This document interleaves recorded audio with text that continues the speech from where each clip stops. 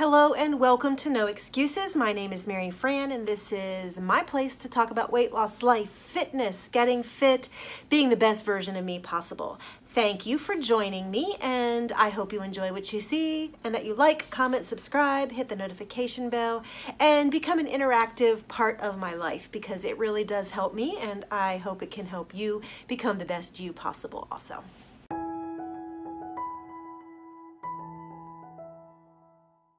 So this week actually was busy in some regards. On Saturday, we actually went and ran errands all day long and we wanted to get outside and stretch our legs but we were running out of time so we went down to the Potomac River explored a little bit and just got outside for just a few minutes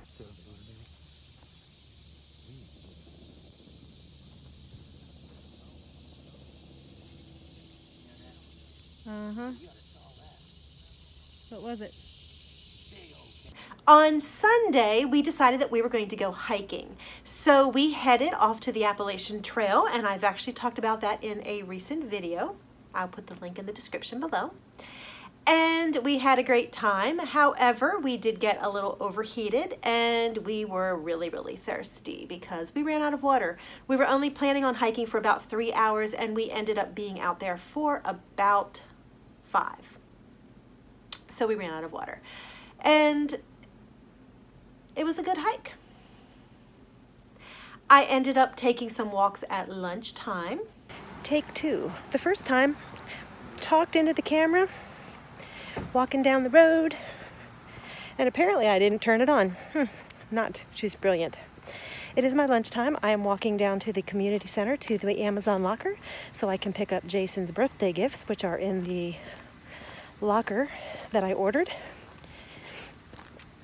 And I'll be able to get them home and get him all wrapped up so he won't know what he gets until he opens the gifts. I am trying to walk today on my lunch break to stretch out my legs, which are really stiff from a five hour hike yesterday. And just trying to take it easy on my heel. But the plantar fasciitis is really kicking something fierce and I've got it wrapped with KT tape. I've been trying to roll it and I've been actually trying to wear the brace that they say to wear at night while I'm at work. Um, we'll see what's happening. And oh yeah, I don't wear it at night because I can't sleep with it on. It drives me nuts. But it's not too bad during the day. So that's where I'm at. Working to keep my food in check this week. It'll be difficult because I do have a birthday boy in the house and might make a little cake for him. We shall see. And I watched my weight. It went up. It was moving. I was thinking it was water retention. I don't know. So here we are. It is Tuesday. And we had a really long hike on Sunday. And when I say really long, I mean we hiked for five hours. It was difficult. I got home and I was ravenous. I ate dinner and I just could not get enough food.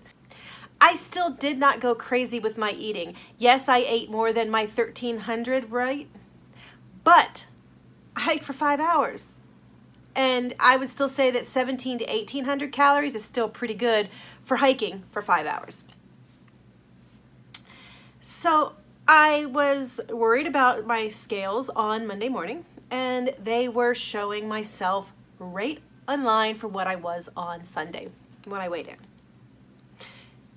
And Tuesday rolled around and the scales, boom, boom, right on up and showed me up at about one to two pounds higher than I was on Sunday and Monday. Really? This is so frustrating. I just want to scream.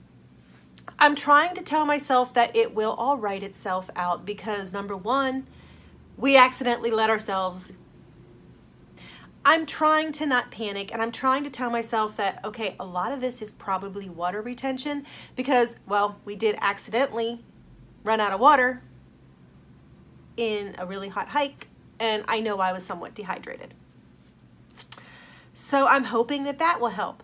I also know that my calves are really sore from this hike and I know that when your muscles are sore, they will retain water and that also counts as water retention. So I'm hoping that things will right themselves.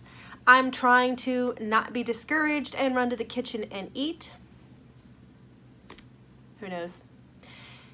It's a journey. It's a real hard journey. But I'm Tuesday into it. I'm also worried about the rest of the week because tomorrow is Jason's birthday. And I am planning on making him a cake. And will I be able to resist birthday cake? Mm, I don't know. I don't think so. I'm going to try to have a little small piece. Small. Small. And we are also going to be off on Friday and that makes three days of weekend and we have some plans to go away and do some things. And I'm just kind of worried about my eating. But here we go. Let's go with it. And then we had Jason's birthday. So I did make a cake for his birthday and I did have some chocolate cake with chocolate icing for his birthday. And my weight held steady this week, and that's about all I can expect because I did eat birthday cake. And I actually am weighing in early just because of the fact that it is a, going to be a long weekend for us. And I don't know what we're going to do. We were originally going to go hiking in the Shenandoah National Park, but it is supposed to be rainy all weekend long. So I don't know what's happening. So I'm just going to go ahead and call this week a maintain because things just pretty much stayed the same. It went up, but it kind of regulated again. And that's okay because it is a birthday week. Now this little trip away is going to be difficult because a little bit of traveling, but I'm going to do the best that I can. And when we get back, I'm going to get just hot on the trail and start getting this weight off again because I'm tired of being fat. So thanks for joining me. It's kind of an unconventional little weigh-in report since I'm way early in my time frame. I usually weigh in on Fridays and right now it's actually only Thursday, but it's all good. So be the best you you can be. No excuses.